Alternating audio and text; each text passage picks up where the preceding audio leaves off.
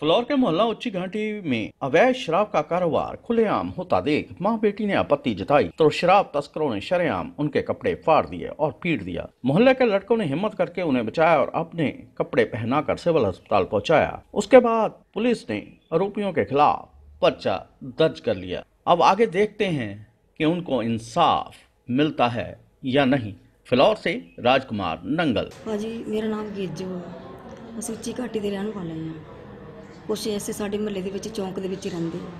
ਠੀਕ ਹੈ ਉਹ ਨ- ਜ਼ਹਿਰੀਲੀਆਂ ਚੀਜ਼ਾਂ ਵੇਚਦੇ ਆ ਡੋਡੇ ਵੇਚਦੇ ਆ ਨਸ਼ਾ ਵੇਚਦੇ ਆ ਸਮੈਕ ਵੇਚਦੇ ਆ।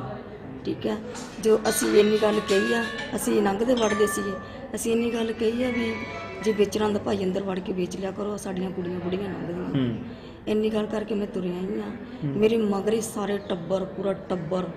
ਪੰਜੇ 6 7 7 8 ਬੰਦੇ ਸਾਰੀਆਂ ਪੰਜੇ 6 ਜਨਾਨੀਆਂ ਘਰ ਤੁਰਿਆ ਆਈਆਂ। ਨੇ ਮੈਨੂੰ ਬੰਦਰੋਂ ਕੱਢ ਕੇ ਕੱਢ ਕੇ ਮੈਨੂੰ ਸ਼ਰੇਆਮ ਗਲੀ ਦੇ ਵਿੱਚ ਮੇਰੇ ਕੱਪੜੇ ਪਾ ਲਏ ਆ। ਮੇਰੀ ਖਿੱਚਾ ਧੋਈ ਕੀਤੀ ਆ। ਠੀਕ ਹੈ ਜੇ ਮੇਰੀ ਬੇਟੀ ਨਿਕਲੀ ਹੈ ਮੇਰੀ ਬੇਟੀ ਦੇ ਕੱਪੜੇ ਪਾੜੇ ਆ। ਸ਼ਰੇਆਮ ਮੇਰੀ ਬੇਟੀ ਨੂੰ ਨੰਗਾ ਕੀਤਾ। ਸਾਨੂੰ ਬੇਇੱਜ਼ਤ ਕੀਤਾ। ਜੇ ਸਾਨੂੰ ਜੇ ਨਾ ਇਨਸਾਫ ਮਿਲੇ ਨਾ ਅਸੀਂ ਦੋਨੇ ਮਾਵਾਂ ਧੀਆਂ ਨੇ ਨਾ ਅਸੀਂ ਫਾਂਸੀ ਲੈ ਕੇ ਮਰ ਜਾਣਾ।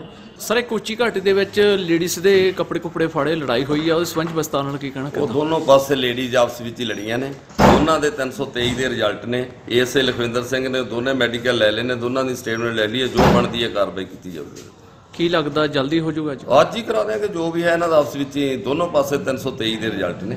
ਦੋਏ ਪਾਸੇ ਲੇਡੀਜ਼ ਨੇ। ਉਹਨਾਂ ਨੇ ਇਹ ਕਰ- ਇੱਕ ਐਲੀਗੇਸ਼ਨ ਲਾਇਆ ਵੀ ਉਹ ਸਮਾਨ ਵੇਚਦੇ ਆ ਨਿਸ਼ਰਾਬ ਨਸ਼ੀਲਾ ਪਾਊਡਰ ਵੀ ਉਹਨਾਂ ਨੂੰ ਕਿਹਾ ਅੰਦਰ ਇਹੋ ਜਿਹੀ ਗੱਲ ਸਾਹਮਣੇ- ਉਹਨਾਂ ਨੂੰ ਅੰਦਰ ਰੱਖ ਕੇ ਕਿਹਾ ਸੀ ਵੀ ਅੰਦਰ ਰੱਖ ਕੇ ਵੇਚ ਲਓ ਬੱਚਿਆਂ ਤੇ ਅਸਰ ਪੈਂਦਾ ਉਹਨਾਂ ਨੇ ਇੰਨੇ ਜੀ ਪਰ ਉਹਨਾਂ ਇਹ ਨੇ ਗੱਲ ਹਮਲਾ ਅਜੇ ਸਾਡੀ ਨੋਟਿਸ 'ਚ ਨਹੀਂ ਆਈ ਜੇ ਇਹੋ ਜੀ ਗੱਲ ਹੋਈ ਤਾਂ ਉਸ ਤੋਂ ਪਹਿਲਾਂ ਅਸੀਂ ਇਹ ਵੀ ਕਾਰਵਾਈ ਕਰਾਂਗੇ।